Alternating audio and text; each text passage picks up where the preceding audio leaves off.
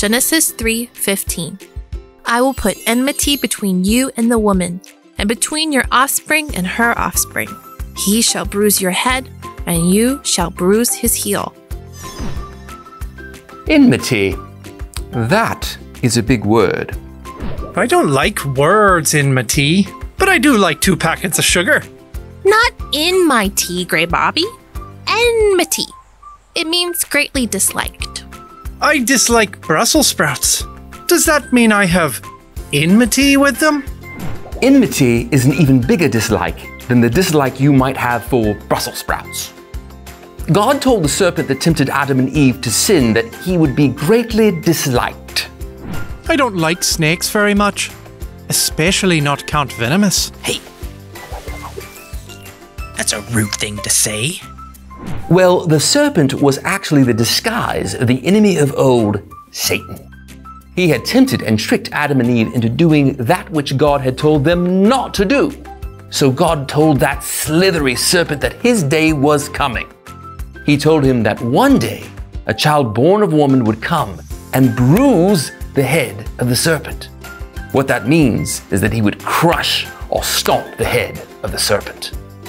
Did they know that it would be so many years before Jesus would come and stomp on that old serpent? Through the years, there were many great men who people thought, could this be the one? But one by one, the enemy tempted each person. One by one, each of these special people showed that they weren't the one who would crush the serpent's head and break the curse. But then Jesus arrived and all that changed. He was the one who would break the curse. You mean like all those fairy tales people tell about valiant knights breaking curses, rescuing maidens, and slaying dragons? Yes, but Jesus' victory is real. Those fairy tales are just our hearts remembering this promise that God made long, long ago.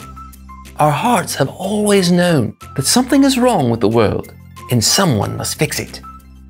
This promise was spoken to God's people year after year until finally, one night, the first Christmas, Jesus was born. I bet that was a bad day for serpents. we really don't like talking about it. Oh, the enemy tried to hurt him, but he could not. Later, the enemy tried to tempt him, but he would not disobey.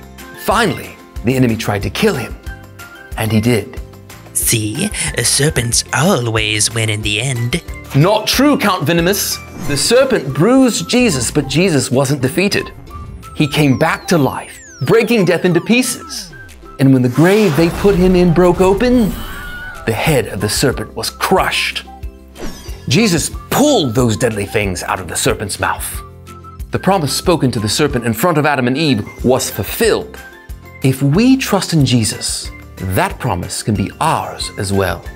We no longer need to fear the serpent or death's sting because God always, always, always keeps his promises. You also can trust in God's promise. Oh, you think so, do you? Well, just wait until I unveil my greatest. Curses! Huh.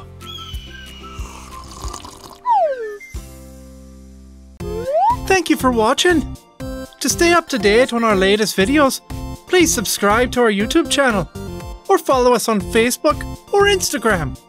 To learn more about the adventures of Greybobby, please visit greybobby.com. See you next time.